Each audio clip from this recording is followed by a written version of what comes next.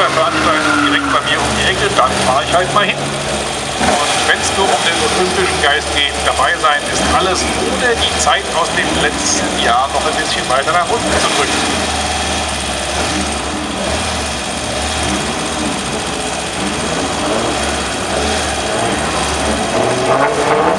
Passt jetzt auf die rechte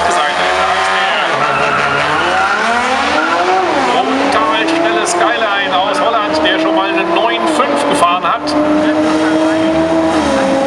Und diesmal etwas langsamer wird. Bleibt auf Rang 2 mit seiner 9.2.